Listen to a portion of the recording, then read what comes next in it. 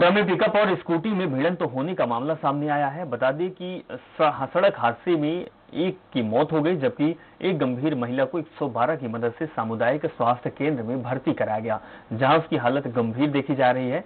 वहीं गंभीर हालत को देखते हुए महिला को सिम्स में रेफर किया गया।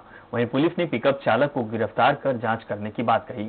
पूरा मामला रतनपुर थाना क्षेत्र का बताया जा रहा है।